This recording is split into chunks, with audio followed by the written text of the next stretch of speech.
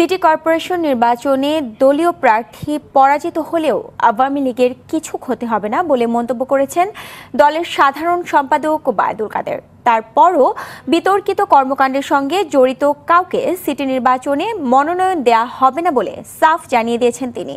দুপুরে ধানমন্ডিতে দলের সভাপতির রাজনৈতিক কার্যালয়ে সংবাদ সম্মেলনে এসব কথা বলেন তিনি। প্রার্থী আমরা মনোনয়ন দেওয়ার জন্য। দক্ষিণ সিটি কর্পোরেশনে এ যাবৎ আমরা মেয়র পদে প্রার্থিতার জন্য আমাদের পার্টি থেকে আহ্বান করা হয়েছে। এ পর্যন্ত উত্তর সিটি কর্পোরেশনে নয়জন মেয়র পদে প্রতিদ্বন্দ্বিতা করার জন্য তাদের ফর্ম সংগ্রহ করেছে।